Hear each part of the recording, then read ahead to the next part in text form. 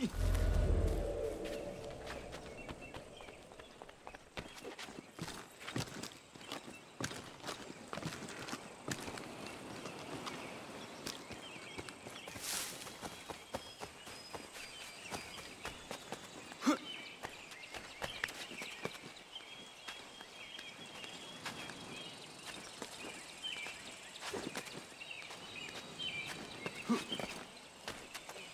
We are not your brothers.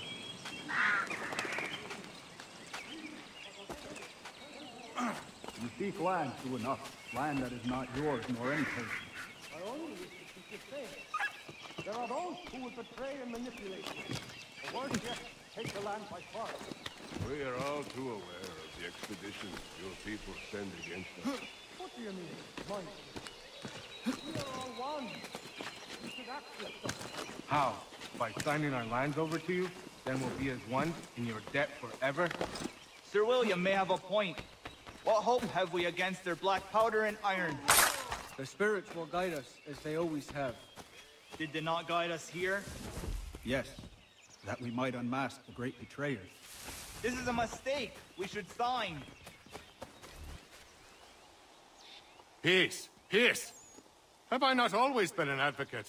Have I not always sought to protect you from harm? If you wish to protect us, then give us arms, muskets and horses that we might defend ourselves. War is not the answer. We remember, Stanwix. We remember you moved the borders. Even today your men dig up the land, showing no regard for those who live upon it. Your words are honeyed, but false. We are not here to negotiate, nor to sell. We are here to tell you and yours to leave these lands. So be it. I offered you an olive branch, and you knocked it from my hand. Perhaps you'll respond better to the sword. Are you threatening us? Yes.